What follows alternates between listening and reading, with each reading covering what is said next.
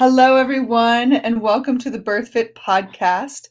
This is episode number 236, and we have two very special guests with us today.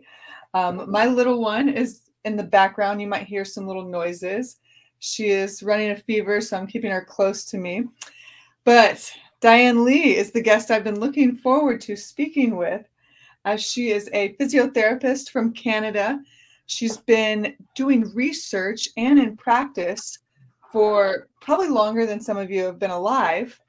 And which is wild. Like to still love what you do is amazing, Diane. But um, her focus is on pelvic girdle pain, um, diastasis, like DRA, what you might call diastasis rectus abdominis, um, and kind of the whole core and pelvic floor as it relates to pregnancy, postpartum, that whole um, motherhood transition. For those of you that don't know, our podcast is a product of our nonprofit. So if you want to check out our nonprofit organization, go to birth nonprofit.birthfit.com. Check it out, and um, we are definitely, you know, gearing up to support one family a month for military. Um, if their husband's active duty military or if they're active duty military and they need birth support or postpartum doula support, by all means, go to that website, donate. If you're active duty military, fill it out, and we'll try to support you in the best way that we can. All right, so let's dive in. I promised uh, Diane I wouldn't read her long bio, but um, she's a legend, and um, I've been following her for a few years now as I started diving into research around DRA and what sparked me was um, the fact that she's one of the only voices that says the distance between the rectus abdominis doesn't matter, that functionality reigns supreme. And before we dive into that, um, I don't know if Diane, you want to jump on and give a little background how you got into pregnancy, postpartum, and you know what what lights your fire. And like, it's really freaking cool that you're still doing it. Oh, thanks. So thanks for having me, Lindsey. Um, boy, that's a, a big loaded question. So first of all, people often think that I'm a researcher, and I'm not. I contribute to research with um, advice from the trenches, if you like, or from what we are seeing in in in the clinic. Um, I apply the evidence and um, and inform people uh, and researchers themselves when what they're doing really really resonates and makes sense. And then sometimes with what they're doing raises questions, and sometimes those questions change practice, and sometimes they don't. So my actual involvement in research as a collaborator started in 2007 with a patient who had a DRA, a diastasis that we couldn't help get better. And she was asking me if surgery would help. And it raised the question of when do we when do we uh, advise somebody to go get their abdominal wall repaired versus when do when do we keep training? And we don't have the answers for that. Then we didn't have the answers then. We're a little clearer now.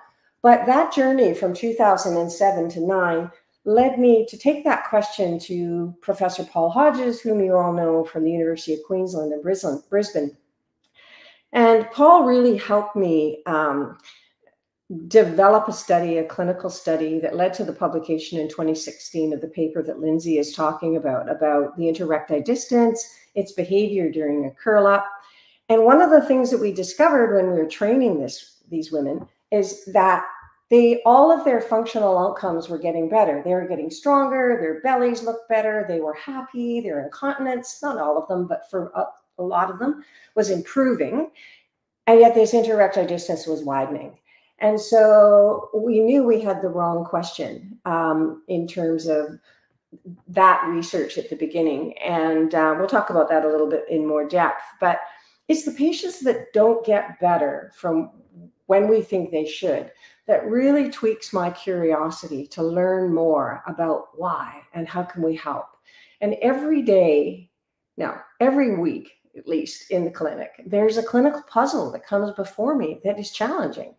And sometimes we can resolve that clinical puzzle. and sometimes we can't. And that always either sends me to the books, sends me to the evidence, send me to seek out who who knows what I don't know and who can who can help these people. So my drive and passion really comes from the individual that I see in, in the clinic or my team sees in the clinic and come to me comes to me for help and uh, helping somebody who's failed to get better with multiple other attempts never gets old never gets old i may get old but it never gets old that's awesome so as a manual therapist and phys- like physiotherapist where did you turn to or do you have any mentors that helped you out on your journey? Uh, several, but the one who always comes to mind is Cliff Fowler. So Cliff was in Canada very much like uh, Geoff Maitland. Um, I'm trying to think of some other ones. I, Geoff Maitland comes to mind the most. He's about the same age or was the same age as as Cliff. They were one of the founding founding fathers of manual therapy in your country and in mine. And I had the opportunity to work for Cliff when I was a very young physio. I think I was 26 years old. And Cliff, I was about to quit. I really didn't see very much value in our profession other than walking people down the hall, fitting crutches, putting a hot pack on their back. I really, there were no exercises at the time that were known to help people with back pain. And uh, Cliff really um, taught me how to learn from the patient, taught me how to use my hands and, and, yeah, really, really put some structure into what I was doing. And he was a mentor for me his entire life until he died two years ago at the age of 82. I would always go to him for uh, advice on different things. And there were a number of people, but I think Cliff Fowler was probably number one mentor I had.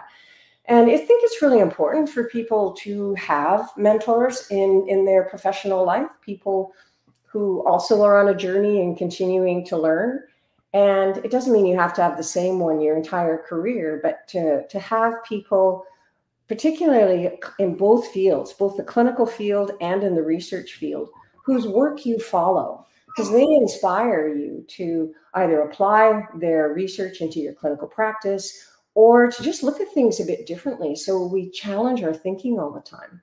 Because that's how we grow, is by thinking about our thinking and not getting stuck in in ruts or ever saying that you know we know everything because we never do right? It's uh, there's always going to be someone that shows up that challenges what you think. And so yeah we always have to have peer support group support and mentor support i think our entire career all our life i think. That's so refreshing. There she is.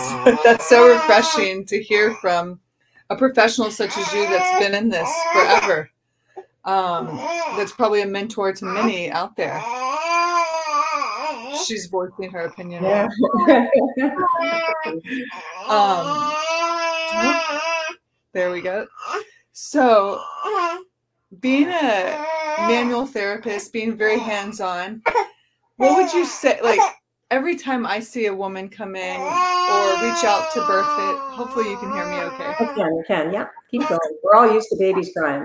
that it's all very unique and each case is very unique. Would you say that's the case for DRA or core and pelvic floor? Or would you say there's one general theme across the board? Uh, great question. And I think it's um I mean, systematic reviews of randomized clinical tr- control trials are really, really important for pharmaceuticals. They're really important for a number of trials, but I'm not so sure how how valid they are for understanding what we have to deal with as clinicians every day in day out. Because there isn't um, an RCT that is a perfect match for any patient I've ever met I don't recognize my patients in the RCT because they have to be blended, they have to be dissected down or minimized to you have you have a DRA, okay, so what? You have pain here and then they try an intervention and they have to keep it simple to minimize the confounding variables. Well, our patients aren't simple. They have a ton of biomechanical things. They have an ankle problem. They have had a concussion. They have had a back injury, and now they have a baby. Well, what role is their floppy ankle or poor ankle control, or maybe their ACL on their knee from a sports injury in, in their 20s or a teenager? Or what impact is that dural tension from the concussion having on the coccyx and thus pulling on the pelvic floor? Like none of these variables are considered in in in any collectively in any RCT. So we start to see these complex, persistent patients being offered um, pain neuroscience, which is not a bad thing, but it's almost like the root cause or the reasons. There's al- always more than one in these complex case- cases. Are, are being um, ignored and saying, well, because we can't understand what's going on with you, uh, it's it's it's it's causing a pain song or nociception. Therefore, we just are going to explain it and um, help you manage it, and you get on with it. And that annoys the heck out of me. Um, now, obviously, there are some people for which that is true, but there are many, many, many where the nociplasticity is just a part of their whole story. So let's bring this back now to DRA there are many different subsets of, of DRA in terms of the location. There are ones that are predominantly in the upper abdomen. So these are ones that are kind of like right below, right below the, the xiphoid. So here to here in this area where you see the widening, Uh-oh. they're going to impact control of the lower thoracic rings. We don't call them ribs. Wait, Diane, I, we lost you for a second. Um, Am I you, back? Yes, you're back and you stopped on DRA that impacts the upper abs. Okay. So you can have an individual who has had a separation or a stretch. It's not a tear, a stretch of the fascial tissue and rectus sheaths high up in the abdomen. That's going to affect the low thorax. So they're going to have difficulty controlling the low thorax and their upper lumbar spine. Then those who have more of a stretch around the, the umbilicus or the navel, they're going to have more problems with their back, controlling the segments of their lumbar spine. And the ones that are really low, and I mean not just two centimeters below the umbilicus, I mean between the, the, the innominate, between the iliums of the pelvis, these are not common due to pregnancy. They're common due to cesarean sections where the rectus don't come back together naturally as they think it should. So these are usually C-section induced they're going to affect your pelvic control. And then you have the individuals who have the separation from top to bottom. So Cordino um, divided or categorized DRA into five different types. The most common type is the one from the navel up to about two or three centimeters above. So it really impacts uh, lumbar spine control, can it impact lumbar spine control. But then on top of not only where the separation is, but how the individual is trying to compensate for that. They, they don't all have back pain. They don't all have incontinence. They don't all have the same, the same presentation of symptoms. And for this reason, any research trial that begins with, we took a group, group of people with incontinence or back pain and then tried to see if the DRA was a player in that is always going to fail because there there there isn't commonality amongst the women and everyone who works with these women will go yeah that's exactly what i see. You see some women who are more concerned about the psychosocial factors of their abdominal wall sexual intimacy they don't like the look of their skin their belly isn't flat anymore they don't feel they don't feel sexy they don't feel like they can be intimate with their partner anymore and that's as important as somebody who can't lift their child because it's a huge part of life, right? Um, it affects your self esteem. It affects the clothing that you wear. It affects everything about yourself. And then we have the others for whom the loss of the, when somebody can't compensate for what the abdomen is supposed to do, they they may end up with back pain during certain tasks. And those tasks Nicole Hills found in canada are almost always related to rotation. So lifting and twisting putting your child in a car seat lifting and twisting them out of the bathtub um, taking your increasingly heavy child and handing them off to a partner and not having just to be a log that turns like this so women who have um, poor function of the abdominal walls, secondary to the laxity in the fascial compartments, often overuse either their back extensors, so they tend to look like a banana back, so they're really extended. Not all of them, but many of those tend to get really compressed in their lumbar spine because of what the erectors do, and they tend to present with more back pain than the group of people who try to use the external oblique or the obliques to, to compensate. And that, what the obliques do is they compress the thorax down into the pelvis with an excessive amount of flexion, which makes their tummies look worse because it increases the pressure in the abdomen.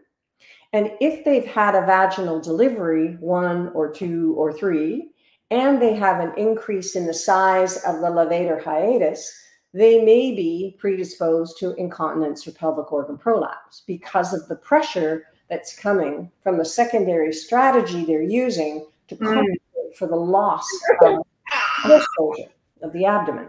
This okay. This all is super cool, by the way. Um, I want to back up and touch on how you said um, the different classifications and um, to me, and you can correct me if I'm wrong, but it sounds like being able to classify the DRA might be super helpful in treatment.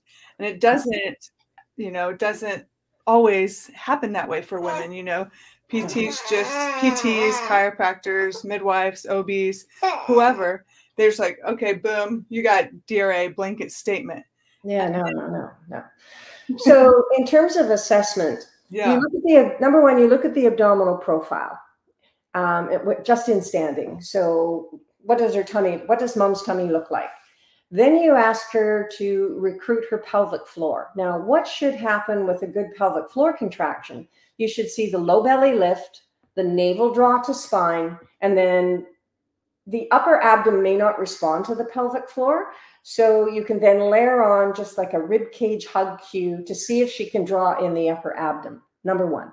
So you can see what the response of the connective tissue is to a cue that's supposed to recruit transversus in conjunction with the pelvic floor to draw things in, number one. That's one test that's going to tell you where's the abdomen not working well. Second test is your load transfer tests. So you have the person in sitting with their arms out like this. You put a rotation load through because rotation is usually the weakest um, load they can manage. And you're observing can they keep the thorax still over top of the lumbar spine? Can they keep the lumbar spine still over the pelvis? So often what's what happens when you rotate them, number one, they can't lock in. So they can't resist you. You can break them really easily. And then you see you see things like adjust my camera here a bit. You'll you'll see that their thorax shifts like this. So they're doing this and this. Or even more subtly, if you palpate the lumbar spine at the back, you'll feel the, the, the middle of their back is rotating. So that's your second clue. So in standing, if you see they can't draw in the upper abdomen. And with the load transfer test, they can't control the upper abdomen. Go assess the abdomen, upper abdomen. If it's the navel, they can't draw to spine. And they can't control L3 or L4, the middle of their back is moving all over the place. Go assess the middle of the linea alba around the umbilicus. And then there's pelvic control tests and, and so on and so on. If that's the problem, go assess the lower fibers. But we'll stay with the common ones. 59% are at the umbilicus and above. So almost 60% yeah. are there. Let me finish. So then, then you go and assess what is the tension like in the linea alba from the xiphoid down? Where is it the most lax? Where can you distort it the most? And then we test the abdominal muscles. You give them a response to uh, a cue which should activate TA, and they should be able to generate tension in the linea alba. And if that tension reduces the depth of the that you can push it in, that is a good prognostic indicator that you can help that woman get better. That's okay? huge. That I mean, I wish not about the width. It will get wider. There are so many studies from Kari Bø's group now in Scandinavia and in, from Brazil and Portugal and Spain and our study. We all showed the same thing. It's got to be a truth. Yeah.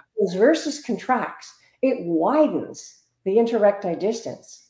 And it's the interpretation of that finding that we disagree with.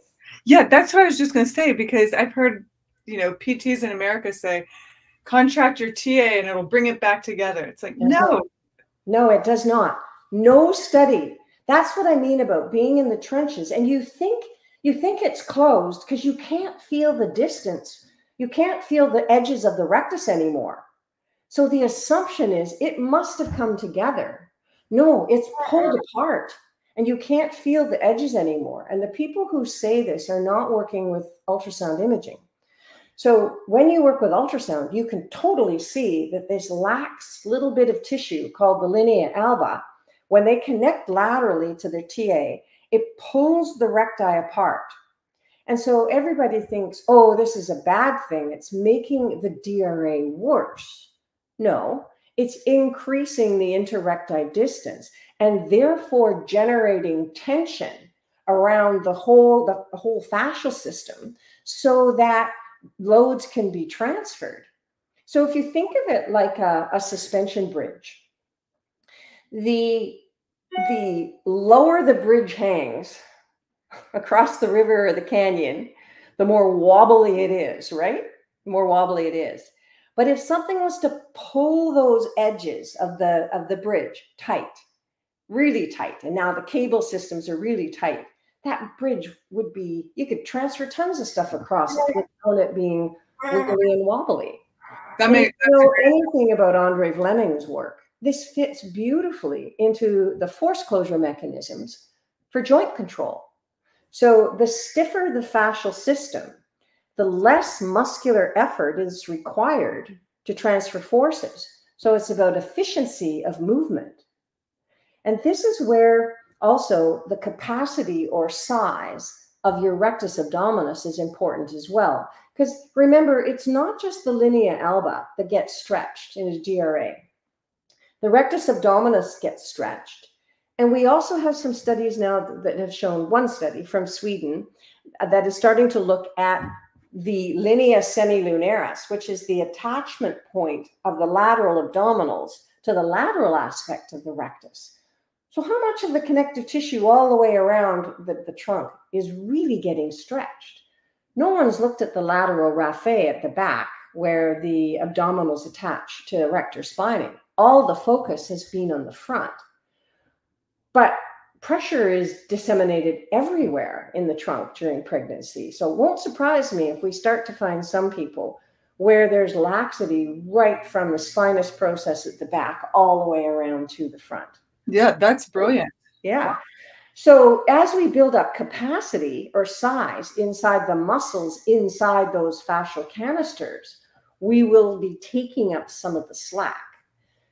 Because, in my opinion, and it's only clinical opinion at this time, we don't have enough studies to, to say that this is truth, but we've done a prospective trial looking over three years, looking at training women hard, really training their abdomens hard. And what we found is that after a period of natural healing, which seems to not be a point in time, but a, a, region in time, and it's between 14 to 16 months postpartum. After that time, doesn't matter what you do, there's no change in the resting interrecti distance. It stays the same. Wow. Now we can change distortion. Oh. We can change its behavior we right. can strengthen up the abdominal wall and in many of those women we can make we can make have them become strong and fit and Antony Lo is all over this right? I mean it's totally Antony's story. These women don't break. You can train them very very hard and you won't make it worse either. Right. But if you were to measure that interrecti distance five years later and we had one woman in the trial who was 30 years later whoa interrecti distance is still the same. No change. No change. So the the sweet spot or the the region you said was 12 to 18 months? Yeah, it's it's up to about 16, 14, 16 months. Okay. And, that makes me question, Lindsey, all of the trials that are done in the first six months that have shown that this or that improved the DRA and the outcome being that the interrecti distance got smaller. How do you know that that intervention had any effect at all and that it wasn't just time? Because even the control groups, who are age and time matched, have the same th- changes that are happening. So you'd think that it, you'd be able to, with a, with controls in the studies, know that note that there's a difference. And so the the results from the the IRD using the IRD as a valid measure. Well, number one, the interrecti distance has never been shown to have validity or to mean anything for either classification, severity of function or dysfunction, or as an outcome measure for progress with any treatment intervention. Right. There's it's nothing still used. It's still being used, right? Yeah, it's like the only thing that's being used, you Mhm. know, and I say just Mhm. generally across the board. It's like, okay, two fingers, two finger breaths, you know, and that's two finger breaths. Well, what's that? You know, and then Totally. like you said, the validity of it just is bogus. It's not there. It's not there. So when I took, so all through the pandemic, I started off with a group of um, nine, 13 women, and then recruitment stopped because of the pandemic. And four women dropped out of the trial because it was hard to continue to, to train and to do the things we asked them to do. So we ended up with, with nine women in, in this prospective training trial. And they all had an IRD greater than four centimeters. So these weren't small ones that Oh, tend to do well no matter what you do, right? Just just go to the yoga studio, go to Pilates, go to training, just do something, it'll get better. These are the big ones. These are the ones that are often accompanied with a symptom or a functional impairment of some sort. So the largest the largest one we had was over eight centimeters, and she was a a fairly large woman. So eight centimeters on her frame was not as big a deal as the seven and a half centimeters on Abigail, who was like a size two. She was Wow. a very small gal and had a huge separation. Mm-hmm. And she she was our rock star in this study. She trained she trained hard and consistently, doing what we asked her to do, and she was able to completely eliminate the alien, the dome that sticks out when you, she was completely Yeah. able to eliminate it and to get strong. But she wasn't able to generate tension in that and start even start to get it strong till almost two years into the program. Right? Wow. Okay. Two years into the program. And the her interrecti distance went from 7.74 down to 5.8. And she started four months postpartum. And that decrease of nine centimeters, if I remember right, happened in that first year of training. But I don't think it had anything to do with the training. I think it was just natural, the, the loss of the pressure inside, the loss of the sustained stretch. That's just what happened to her connective tissue over time. Because that resting interrecti distance from 14 months postpartum did not change ah. until three years later, stayed the same. That, and so when I took all this data, I measured these women every three months. They came into the clinic and we did ultrasound images at all three points, no, two points, just above the umbilicus and halfway between there and the xiphoid, every three months at rest, during an automatic curl up, and during a curl up where they recruited their TA um, for as long as they were in the trial. And I just felt I had chaos. The interrecti distance sometimes was wider at rest, then narrower at rest. It changed all over the place. hmm. And what I realized watching it is that the interrecti distance is a function of what your transversus is doing. And what transversus is doing is function of your gut health, irritability in in in the in your visceral system, right? Um, if you're sensitive to gluten or you have some irritable bowel, that can change the recruitment, the recruitment strategy. Absolutely. And so it's not as finite and as structural or as linear a measure as we think when we only measure it at two time points in a study. Even four time points in a study it's getting better, but it's not enough. It's, yeah. you know, it's not like four times, it's not 12 time points over three years. And I just thought I had chaos when I went to Australia with all this data. I dumped it on Paul's lap because I don't know how to figure out the distortion index. And that's one of the cool things about being a clinician collecting data, but doesn't understand what they've got. And then having a, a researcher, someone like Paul, that just looks at all the images and applies the, the software, imaging software, and everything else to figure out the distortion index. And I could tell him that for a lot of these women, they were now able to generate tension. They were stronger. They still struggled with rotation. In some, a lot of their symptoms had changed. They weren't completely alleviated, but they were improved. Um, but other than that, I didn't know what I had. Yeah. Every single one of those um, nine women, the distortion index decreased dramatically. Wow. So, what that means for us as clinicians is that we have to stop worrying about how wide this thing is and really start to pay attention to how deep is it? How far can I push this in? Mm-hmm. So you're going to start measuring the depth of your finger. And so, how hard do you push it in before you take that measure? So, in physiotherapy, we talk about Maitland's concept of R1, the first resistance. So, that's what we've been using. We push the tissue in until we feel we start to get the first resistance back. Because of course you can always push it further and then yeah. come together with that push, right? You can distort everything and push it in. And some of these women, you could feel the aorta. You could go right back to the spine, yeah. Push it all the way in. That's not, we're not about taking the whole of the abdomen and inverting it. It's just when you push it in a little bit, when you get to R1, then you measure on your finger, how far is that? And I think we could, if we did an intertester reliability study, we're not going to go, oh, it's to my first digit or second digit because our digits are different length. Yeah. We have to measure that then and say, yeah. you know, how many centimeters deep is this, right? Right. It's the depth, and that's what changes over time. And if you can distort the tissue less, so let's say then they recruit the deep system, mm-hmm.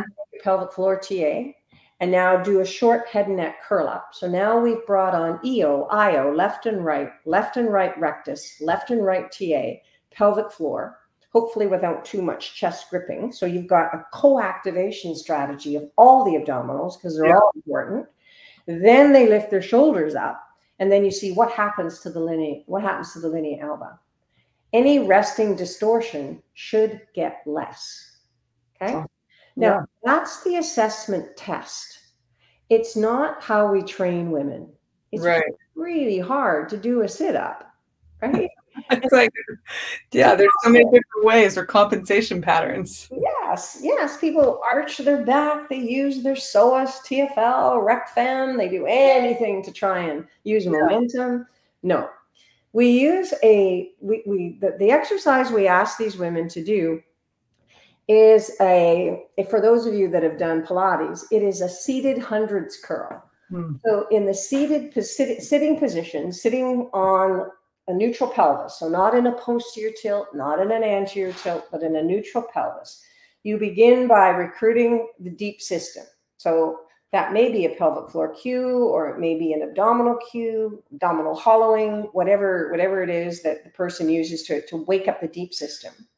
Then keeping their shoulders still, they start with a reverse curl, posterior pelvic tilt. So they start from here, reverse curl. That brings on the rectus, okay, with no chest gripping. So just the reverse curl. Then they hold this and then start to open the hip angle, lean back. None of this. No chest, no no belly popping. No no chest. No back arching. So they have to keep. No arching. Yeah, they got to keep the curl position, and they start to lean back. Mm-hmm. And they lean. How far back do they lean? They lean back as far as they can control it, where you start to shake. Because all the good stuff for both fascial loading and for strengthening happen in the moments of that shake like when it's really hard. And we asked them to do the number of these curls to that shake point until they couldn't do anymore, which was about five to seven minutes, right? Five to seven minutes of that, three times a week. So we were asking of them 10 minutes of your time, three days a week. That's it. So it wasn't a big ask.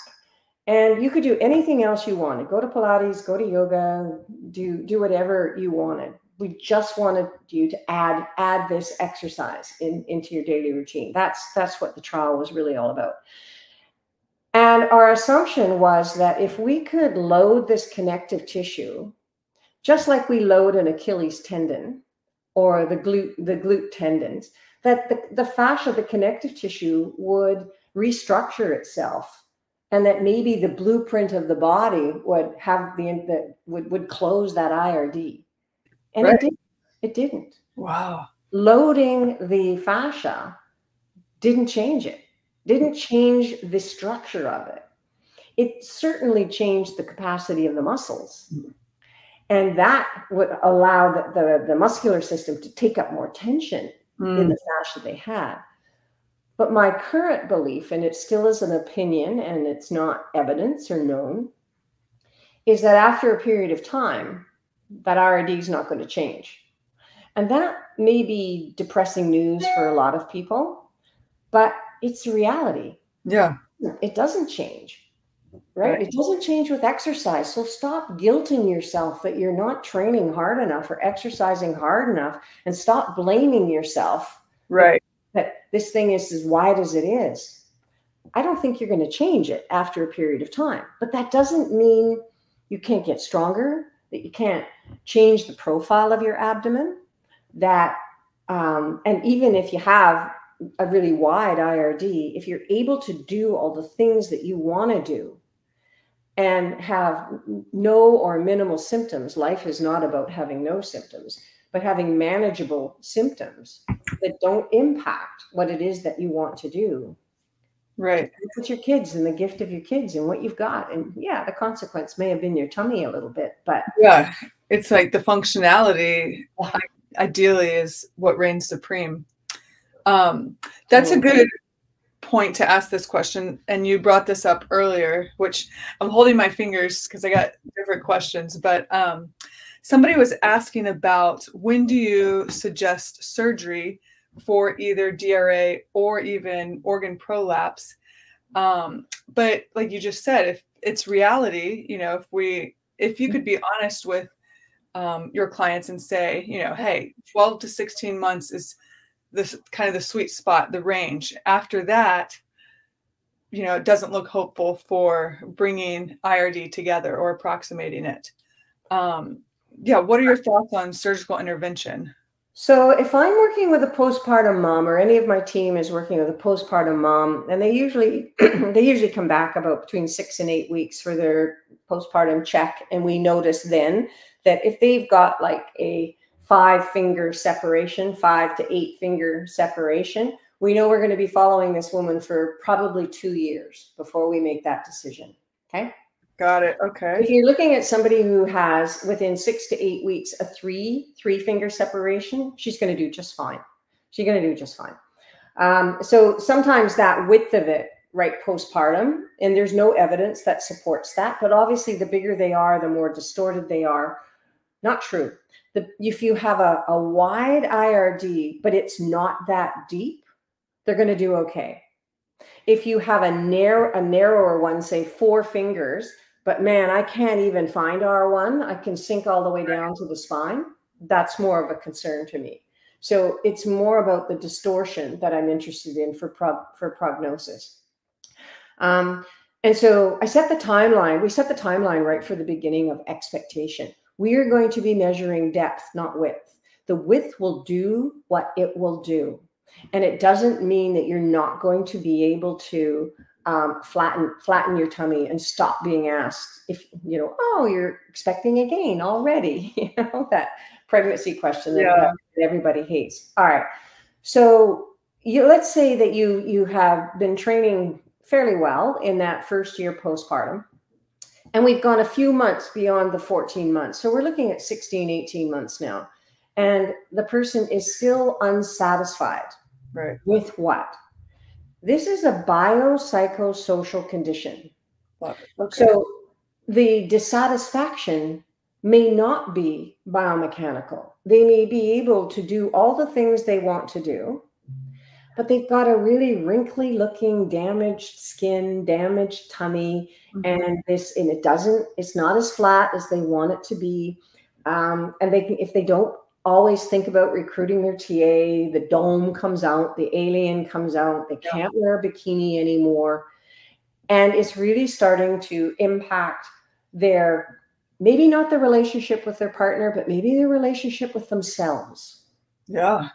And they decide that they want surgery. That should not be judged. If someone has good function, mm-hmm. but their psychology is, is such that they don't feel good about themselves, that is a good enough reason for me to mm-hmm. support mm-hmm. that surgery because mental health is as important as physical health. It's going to affect everything she does as a mother. Absolutely. Absolutely. Okay. Obviously, the, the biomechanical one is the one that, you know, we, we all go after as, as mm-hmm. mechanics. You know, if you can't control the joints of your spine or your pelvis or your thorax, and you want to do tasks, you want to do something more than walking or cycling or a rowing machine, because these are all things that, that the rectus can manage and handle but when you can't cross forces across the midline, then tasks like paddling or tennis or pickleball or golf or uh, dancing with lots of rotation, these sorts of things, or simply lifting and twisting with your kids, that be- can become potentially um, hurtful for your spine. Okay, so I'm not saying this is going to be hard for everybody, and I don't want to create, you know, catastrophic thinking. Yeah. But for people who have had dodgy backs going into their pregnancy, this adds more of a load onto their lumbar spine. Mm-hmm. So those are the parameters that we use now. So they've got what we call failure to transfer loads well under loading for rotation, either thorax for the upper DRA, lumbar spine for the middle ones pelvic control for the lower ones, or a combination of all three. They can't control loads. They have trained for long enough period of time, and you can see on ultrasound that they're recruiting the deep system well. They've built up capacity in the rectus, and still it's not possible for the impact of this training to change the fascial tension enough so that they can transfer loads. And then if I squeeze the tummy together at the front, if I simulate what the surgery is going to do, so it's not about approximating, it's not about that this needs to close. It's that closure reduces the amount of fascial tissue that has to be rendered taut before loads can be transferred. That's what this does. So if we approximate the tissue together and then repeat this test, and they are suddenly really strong, they feel really good, then you know you can predict they're going to have a good outcome. They'll have good, oh, good surgical outcome. That makes sense. Surgical outcome. Yeah. Because the surgery doesn't take up any slack out here. It doesn't approximate right. this part. It doesn't do anything at the back. It doesn't change the size of your rectus. Right. It only draws the rectus together. And heaven forbid, there's been one paper, two papers published that has talked about overlapping the rectus. Don't do that. Hmm. when they do this too tight or they pull it like they do this, I've seen two people that have had that done. And it wasn't a full overlap, it was a partial overlap of the rectus. They can't breathe. They just put a oh. tourniquet on their chest and they just oh. desperately want to get a deep breath and they can't. They want to unzip the surgery. Both of them did. N of two, only two people, but it was it was horrific. That sounds terrible. So if they're doing, let's say they're they're a good candidate for surgery. They've had one kid or one toddler, twins, they might want another kid. Would you say wait till you're done having kids? Yes. Yeah, absolutely. Most plastic surgeons will want that to happen. Um, however, if they have the surgery and then unexpectedly get pregnant afterwards, yeah, it's um, um, I've I've only followed one person through pregnancy after surgery, and if they they use non-absorbable sutures, right? Non-absorbable sutures, and they don't do, they do um, individual stitches and not a, a sewing thread stitch. Now, the, as I'm saying this, all the stuff's coming into my head.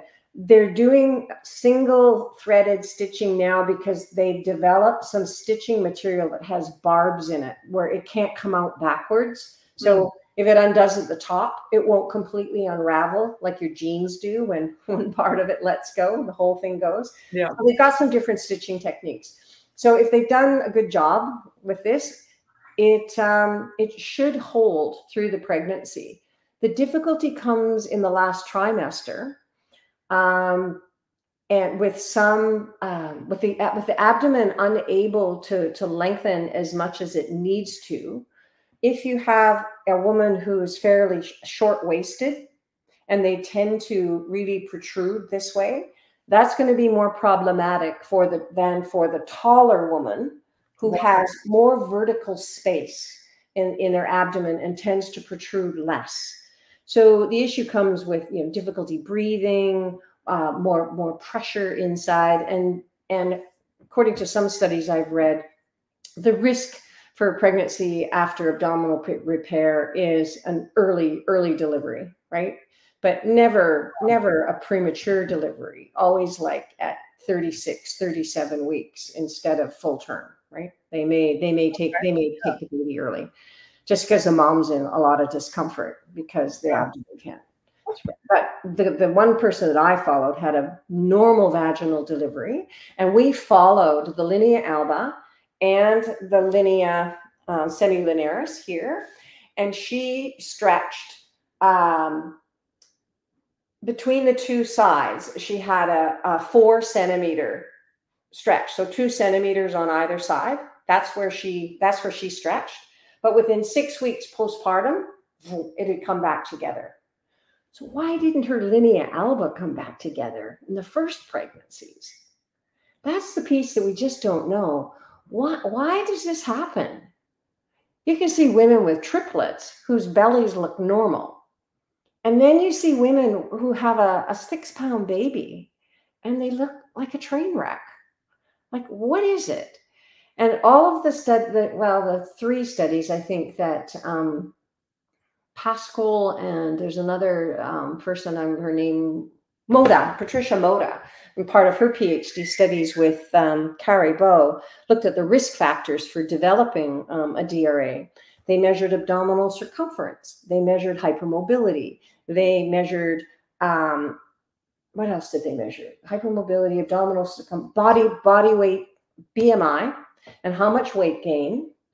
Uh, they looked at all of the mechanical factors that are currently our cognitive belief as to why you get a DRA. None of them were shown to be statistically relevant as to who who gets a DRA or not. So mechanical factors don't seem to be the risk factors. So on all these websites that say do my program when you're pregnant and you will avoid a DRA, they're not evidence informed because the evidence informed answer is we don't know. So there looks like there's a difference in, genetically in types of collagen, in, in abundances of type 1, 2, and 3 collagen that may put women at risk. Well, we can't change our genes. Yeah. It's not like picking Levi over, I don't know, some boutique brand jeans. We have what we have, right? And so there's a lot of there's a lot of guilt and shame around this condition that I think we can use the evidence to hopefully lay that at rest. Except we're battling a lot of these um, websites that that say the opposite, right? So yeah. number one, we don't know what causes it we do know that it seems to relate to pressure over time. So it's it's not about um, any exercise that causes it. It's the time factor and sustained pressure and the ability of your connective tissue to uh, resist change over pressure and time because of pressure and time. And there's no exercise that we could do on the planet that mimics nine months of pregnancy. no, heck no. uh, okay, I have one question about um, prolapse and specifically, um, well, first, what are your thoughts on pessaries or um, devices like that? I think they're like an ankle brace. Okay. I think I think that if depending on the the type of prolapse you have, so is it a urethrocele or a cystocele? Uh, will this woman says she has a grade three bladder prolapse. Yeah, so that would be the cystocele. And if if the suspensory ligaments of the uh, of the vagina, so the uterosacral and cardinal ligaments, if they're intact and her cervix cervix vault is is um, nicely suspended, then a pessary will work really well. And um, it's it's and how how you can start to tell is if she wears a tampon.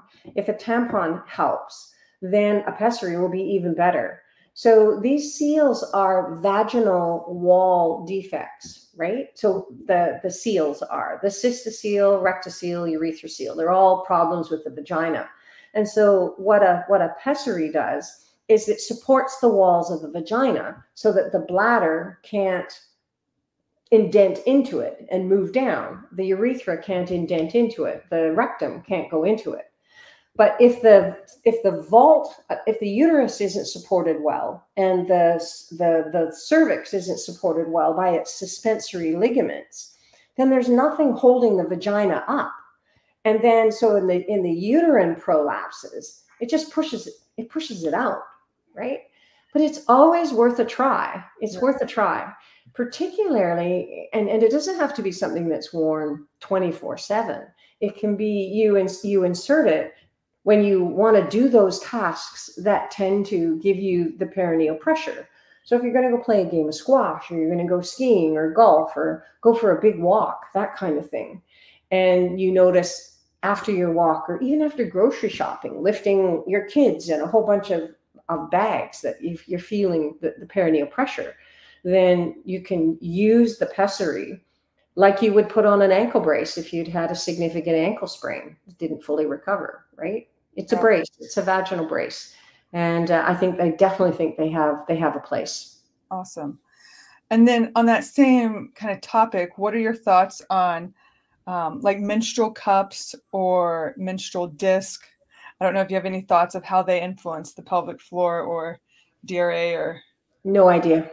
No idea. Not in my scope of practice. Not. I, I haven't. I haven't no experience with that at all. But I will say that about prolapse. There's yeah. two things we have to think about with prolapse. Number one, like a DRA, has there been structural change in the connective tissue of either mus- neuromuscular, neuromyofascial tissue? So, in in the walls of the vagina, in the in the connective tissue that supports all our pelvic organs in place? Has there been a structural change in the size of the levator hiatus? Mm-hmm. Okay, number one. Number two, how well does mom manage pressure? So, what's happening with the diaphragm and the low thorax? Are they using a real pressurizing strategy yeah. to transfer loads? So, pressure is a one of the tools or one of the ways that we transfer load. So pressurizing the canister sort of allows us to transfer loads. But if the pelvic floor and the, and the pelvic organs can't manage, can't handle that pressure, then we have to look at changing pressure. So, how do we change pressure? We change breathing strategies under loading. So, instead of exerting on the exhale breath, exert on the inhale. So when you in, take a big inhale breath in, widen the rib cage, keep the central tendon of the diaphragm high, and you'll feel everything lift up. So using almost like what they teach in hypopressives, not mm-hmm. an apneic breath. Like I'm not talking about breathe everything out and then use your diaphragm. That's something different. But minimize the descent of the central tendon of the diaphragm. So holding the central tendon of the diaphragm higher in the thorax, breathing in lateral costally will create a negative a, a lessening of the intra-abdominal pressure so you don't have as much load that the pelvic floor has to manage so that's a strategy that that i use personally a lot of time when i'm swinging kettlebells or doing yeah. heavy weight heavy weight lifting because at my age in my late 60, 60s weightlifting and loading is really important for mm-hmm. maintaining mm-hmm. muscle mass balance all of this but I've had um, a problem with in- incontinence and prolapse since the age of 16 when I did a back handspring on the balance beam and landed straddle. Oh. And I really hurt my pelvic floor, but I had no treatment. Yeah. One child at 29, one child at 33. And after my second child, I couldn't walk faster than 3.3 miles an hour on a treadmill without soaking myself. Oh. So I had a Burch suspension surgery at the age of 42, which worked really well for about five years. And then the incontinence started coming back. Uh, my story is quite complex. Fast forward to where I'm at now, I have that. I don't have my uterus anymore but I don't, I, I have a vaginal vault prolapse, a rectocele, and a cystocele. So I have all three of them. Right. So if I use a pressure strategy to transfer load, like everything just almost drops below my ischial tuberosities. I just can't. Right. Yeah. Yeah. Farting and peeing and just a mess.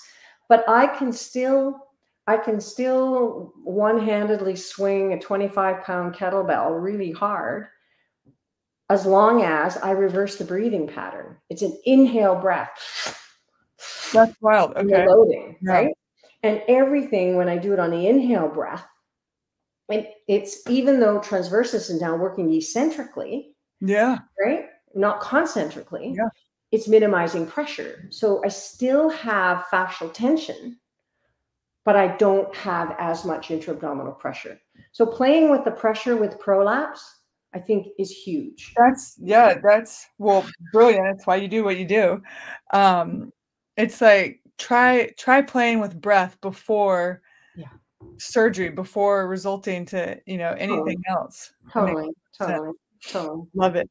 Yeah, because you know the evidence from the surgery for prolapse. I mean, I'm I'm a perfect example of that. The surgery tends to last five years, and then things come back. Got and it. that tells me that how we got the problem in the first place hasn't gone away. So yeah, the, the strategies that we've been using are still there. Yeah. Right. Yeah. The root, the root issue is still there. It's, oh, okay. Um, well, this has been amazing. I there was one other question or topic I wanted to touch on, and it's the CrossFitters, CrossFit world, because um, we get a bunch of them. And you know, one of the things, and you might have some thoughts or reflections on this, but um, you know, we see women in the CrossFit world getting pregnant now, and then um, especially ones that have been in the CrossFit field a long time. But you touched on something earlier about DRA, where it's like the um, bringing, yeah, bringing the rib cage down, and you know, some of these women that I've seen where their IRD doesn't change after baby, it's still there, go on to have lower back problems like disc issues yes. or something comes up and we see it a lot in the before I started working with, you know, only females, the males in the CrossFit world, and we would call it like the extension compression strategy on the back. And I don't know if you have thoughts or, you know, reflections that you want to share about just this specific population. Um, any, anything come to mind? yeah. So one of my senior pelvic health therapists right now is a CrossFitter and she's also pregnant. Um, uh, and don't mean to throw her under the bus. exactly, it's her first baby though, and uh, and she's very short waisted, and she's showing really early. Um, but I think she's going to do. I think she's going to do okay for a couple of reasons. One of the things that people in CrossFit, not all of them, at least the ones we see in the clinic, don't do, is the sport itself is highly compressive, right? Highly compressive, and if they don't, compared to yoga and Pilates, whereas a lot of lengthening, a lot of lengthening, uh, length and strength. CrossFit has a lot of compression. So if you use one part of your trunk more than another, so the example that you've used is the back extension strategy, the risk is an increase in, in thoracic pain or low back pain, right? With that compression strategy. If you use your abdominals excessively, the risk is compression of the rib cage anteriorly. So all of the rings, if you think of the, the, the, the rings in your rib cage being like a slinky, where it should lengthen and it needs that separation to rotate, oh, this rib cage gets incredibly compressed. And that compression stops the rib cage from being able to rotate well. So they're like hulks, you know, they don't rotate well. And so then they start getting more neck pain and low back pain because all the, yeah, the force goes into their neck and their back. And if I had one piece of advice for um, people doing CrossFit is to get that chin up bar at the end of your workout and just hang on it for two or a minute, right? Open the system back up again. Do a few downward facing dogs. Get the length back again. And how you know you've got the length back is when you can really get your full rotation back. Don't leave the gym feeling stiff in rotation. Get your thorax mobile again. It's great to get strong and to use the front as much as the back so you right. don't get too much into a back gripping strategy. Don't get too much in a front gripping strategy. Use the back and the front symmetrically and lengthen out afterwards. Mm-hmm. Lengthen out. Love it. Okay. All right. So, first of all, thank you so much. You're welcome. Second, where can people find you? And I know you have courses maybe they want to dive into. Yeah, so my education platform is Learn with Diane Lee. If you just Google my name, the two will come up. The clinic is Diane Lee Physio. The education platform is Learn with Diane Lee. There's several lectures on there. Um, the free lecture, free resources, the the the courses. There's not many in Australia. I'm finishing up the the ISM series in Australia um, next week. Actually, I fly to Australia, um, but and I'm not sure when I'll when I'll be back there, to be honest. Um, but you'll find the the agenda of where I'm teaching. I'm slowing down a bit. I hit 70 this year, so it's uh, I'll still be doing it. you look fabulous, by the way. Thank you.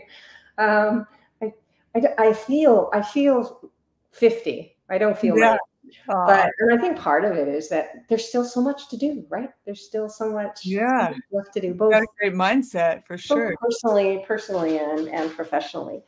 But uh, anyway, yeah, learn with Diane Lee. You can find a lot more there. And uh, stay curious. Don't worry, you won't break these women and um, work with them hard and don't focus on the IRD. Go for the depth. Go for the awesome. Depth. Okay. Thank you so much, Diane. You're Safe travels. I really appreciate your time. Thanks, Lindsey. Take All care. Right. Hope the little one gets better soon. Thank you so much. Bye. Bye. All right, y'all. That was pretty amazing. Um, be sure to go to her website. You can definitely find lots of free stuff on there to um, check out, to learn for yourself, dive deeper. Uh, she's definitely somebody we recommend inside of our BirthFit Coach course to check out and learn from. Um, you know, I feel fortunate enough to have stumbled upon her research, and it just made so much sense to me. So go to learnwithdianelee.com and just start digging in. Stay curious, as she says. Thanks so much for hanging out with me today. And I really hope you enjoyed this episode. If you have any questions, by all means, shoot us an email info at birthfit.com or for Diane, shoot her an email. And um, don't forget to check out our nonprofit, nonprofit.birthfit.com. Any little bit helps there. Much appreciated. Y'all have a wonderful day. All right. Bye.